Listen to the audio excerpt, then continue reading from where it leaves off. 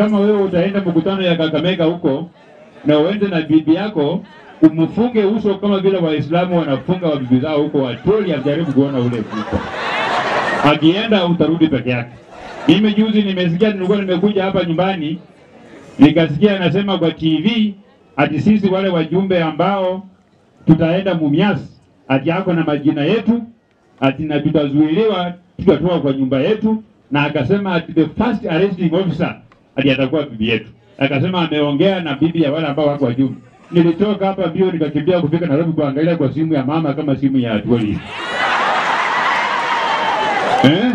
Lakini bahati mzuri nikakuta hapo kwa jikoni, nikaingia kidogo kwa bedroom, nikachukua simu, nikaangalia ndani, nikatafuta Atwoli, nikatafuta plamba, nikatafuta electrician, lakini kwa mapenzi ya Mungu hawa watu wote hawakupatikana hapo. Sasa vile niko hapa, lakini niko na wasiwasi, labda pengine anapanga tena kupigia mama. Huyo ni mtu unasikia ni hatari kabisa eh? Lakini kidogo mimi niko na bahati, kwa sababu unajua mimi Mungu alinibariki bibi yangu ni ule mnono ambao unashika na mikono mbili, nasikia yeye anabenanga wale wembamba. Sasa kidogo hiyo hiyo imenipatia nafuu kidogo, nikitembea najua hapo niko sawa sawa. Ile gari mimi nasukuma, Atwoli hawezi kusukuma hiyo eh?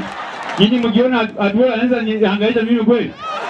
Kwa mambo ya kuendesha gari, Atwoli anaweza shinda mimi na hii yangu kweli?